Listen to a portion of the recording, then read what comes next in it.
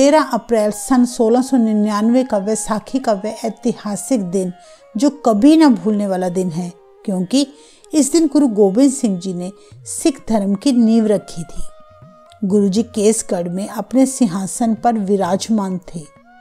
कहते हैं उस समय आप जी का चेहरा रब्बी नूर से एकदम चमक रहा था, दीवान सजा हुआ था और अस्सी हज़ार से ज़्यादा संगत गुरु जी के आदेश अनुसार एकत्रित हो चुकी थी। तभी गुरुजी अपने सिंहासन से उठे और म्यान से अपनी तलवार को निकालकर ललकारते हुए बोले, है कोई वीर जो मुझे अपना शीश भेंट करे? गुरुजी के मुख से ऐसा आदेश सुनकर बहुत से लोग डर कर वहाँ से चुपके से चले गए। तब गुरुजी ने दूसरी बार फिर से ललकारा। कहते हैं जब आपने तीसरी बारी ज़ोर से ललकारा, है कोई वीर जो मुझे अपना शीश भेंट करे? तो सबसे पहले लाहौर का खत्री दयाराम उठ खड़ा हुआ और हाथ जोड़ते हुए बोला, हे गुरुजी, मैं शीश देने के लिए हाजिर हूँ। इतिहास में दर्ज है उस वक्त उस बहादुर वीर को गुरुजी अपने साथ तंबू में ले गए और अपनी तलवार से उसका शीश धड़ से अलग कर दिया। तलवार चलाने की आवाज़ बाहर बैठे संगतों ने सुनी तो वे सारे हैरान परेशान हो गए कि अब गुरुजी क्या करने वाले हैं और क्यों?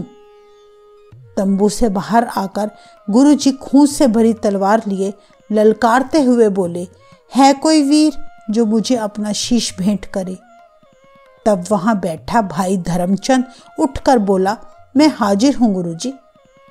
इसी प्रकार भाई मोहकम चंद जी भाई हिम्मत राय और भाई साहिब चंद गुरु जी के समक्ष कुल पाँच वीर हाजिर हुए। एक एक करके गुरु जी उन सभी को तंबू में ले जाते और उनका शीश धड़ से अलग करके बाहर आ जाते। तंबू के अंदर क्या हो रहा था? केवल आवाज़ सुनकर और खून से भरी तलवार देखकर संगत ने अंदाज़ा लगाया कि गुरु जी ने बारी बारी सभी युवकों के शीश धड़ से अलग कर दिए होंगे। तभी तो उनकी तलवार हर बार खून से भरी होती थी। कहते हैं कि तभी एक चमत्कार हुआ। गुरुजी तंबू के अंदर जाकर पाँचों युवकों को नए वस्त्र पहनाकर अपना सिख बनाकर बाहर ले आए। ऐसा अद्भुत दृश्य देखकर सारी संगत हैरान हो गई और सभी सोचने पर मजबूर हो गए कि जिनके शीश कट चुके थे, वे फिर से सही सलामत कैसे हो गए।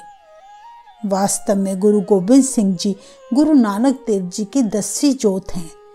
पूरे गुरु होने के साथ सभी कलाओं में भी वे संपूर्ण हैं।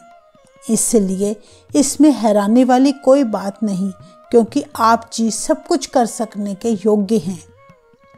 उस समय आप जी ने तंबू पे जो लीला रचाई, वह तो केवल आप जी ही जानते हैं। कहते हैं कि गुरु जी ने तब उन सभी पाँच प्यारों को अपना सिख बना दिया। फिर आप जी के द्वारा खंडे बाटे का अमृत तैयार किया गया।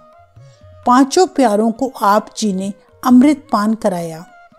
अपने सिखों को नाम दिया भाई दया सिंह, भाई धर्म सिंह, भाई मोहकम सिंह, भाई हिम्मत सिंह और भाई साहिब सिंह जी। इसके बाद गुरु जी को पाँचों प्यारों ने अमृत पान कराया।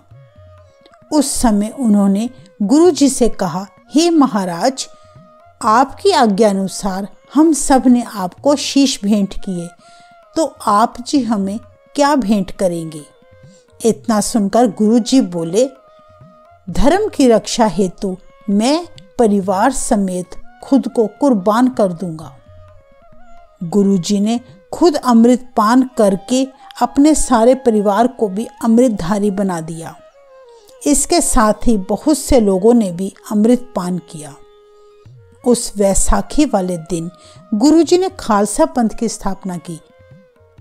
वास्तव में खालसा का अर्थ है शुद्ध रूप, जिसमें कोई विकार ना हो। गुरुजी ने समूह संगत को संदेश दिया कि खालसा पंथ किसी जात पात को नहीं मानता।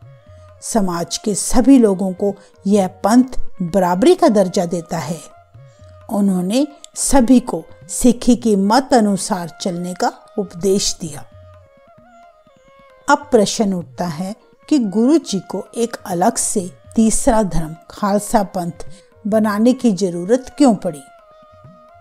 उस समय मुगल शासकों के जुल्म इतने बढ़ चुके थे कि हिंदू लोग उनसे इतना डर गए कि वे लगातार मुस्लिमों के खौफ तले दबे जा रहे थे। अपनी रक्षा की खातिर वे मुस्लिम धर्म जबरन अपनाने पर मजबूर हो चुके थे। जिससे हिंदू धर्म लुप्त होने की कगार पर पहुँच गया। उस भयावह स्थिति को समझते हुए गुरु गोविंद सिंह जी ने जुल्म के खिलाफ तलवार उठाना ही उचित समझा। गुरुजी सभी धर्मों को एक समान समझते थे। वह मुस्लिम जाति से नफरत नहीं करते थे, बल्कि केवल जुल्म के खिलाफ थे।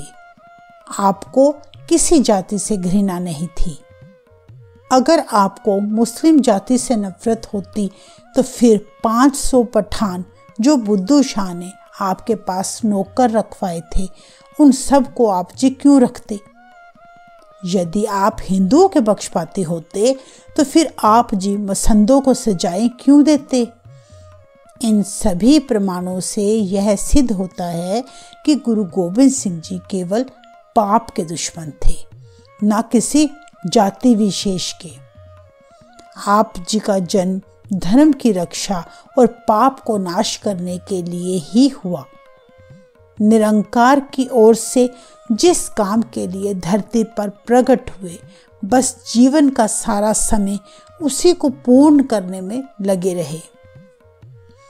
गुरु गद्दी पर बैठते ही आप जी ने सारी संगत को हुक्म दिया कि जो हमारे लिए अच्छे घोड़े और शस्त्र लाएगा, वह हमारी कृपा का पात्र बनेगा।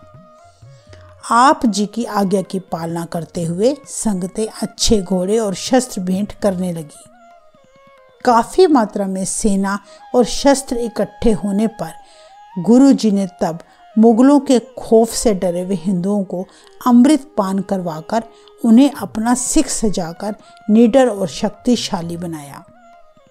गुरु जी ने अपने अमृतधारी सिखों को पाँच ककार भेंट किए, जिनमें केस, कंगा, कछहरा, कड़ा और कृपाण शामिल हैं और उन्हें हुक्म दिया कि आज के बाद जिसने हमारे साथ जुड़कर रहना और ज़िंदगी को सफल बनाना है, अमृतधारी बनकर इन पाँचों ककारों को धारण करना उसके लिए अत्यंत ज़रूरी है। गुरु जी ने ज़ोर देते हुए कहा कि जब जुल्म असहनीय हो जाए, तभी कृपाण उठानी है। जो लोग अपनी रक्षा ना कर सके, उनकी रक्षा हेतु सच्चे सिख को तलवार उठानी चाहिए। इस तरह गुरु जी ने लोगों को गीदड़ से शेर बनाया। यह बात श्री गुरु गोविंद सिंह जी के इस शब्द से सिद्ध होती है। चिड़ियन ते मैं बाज तुड़ाऊं, गिदड़ों तो मैं शेर बनाऊँ, सवा लाख से एक लड़ाऊं, तबे गोविंद सिंह नाम कहाऊं। गुरु जी को सरबंसदानी के नाम से भी जाना जाता है, क्योंकि पाँच प्यारों को दिया वचन आगे जाकर आप जी ने पूरा करके दिखाया। हिंदू धर्म को बचाने के लिए आप जी के पिता और सिखों के नौवें गुरु श्री गुरु तेग बहादुर जी ने दिल्ली के चांदनी चौक में अपना शीश कुर्बान किया। आप जी के बड़े साहिबजादे बाबा अजीत सिंह जी और बाबा जुझार सिंह जी ने चमकोर के युद्ध में अपने आप को कुर्बान कर दिया। और आपके दोनों छोटे साहिबजादे और माता गुजरी जी ने सरहंद में अपने आप को कुर्बान कर दिया। अंत में गुरु जी को भी शहादत देनी पड़ी। गुरु जी द्वारा अमृत की शक्ति ने धर्म पर कुर्बान होना सिखाया। शरीर के बंद बंद कटवा कर भी गुरु के सिखों ने उफ तक न की। आप जी ने मुगलों के खौफ से डरे हिंदुओं को अमृत प्रदान किया। अपनी सारी उम्र दुखों के वन में बिताई। खालसा पंथ बनाने के लिए आप जी ने आनंदगढ़ और होलगढ़ किले की स्थापना की। इसके साथ ही भंगानी का युद्ध भी लड़ा। गुरु जी की अपार कृपा है हम सभी पर। आप जैसा सर्वंसदानी बलिदानी, कृपालु, शूरवीर और कोई नहीं। अमृत के पुंज अपने प्यारे गुरु जी के आगे सिर श्रद्धा से झुक जाता है।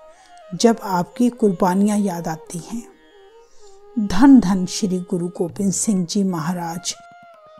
वाहेगुरु जी का खालसा, वाहेगुरु जी की फतेह।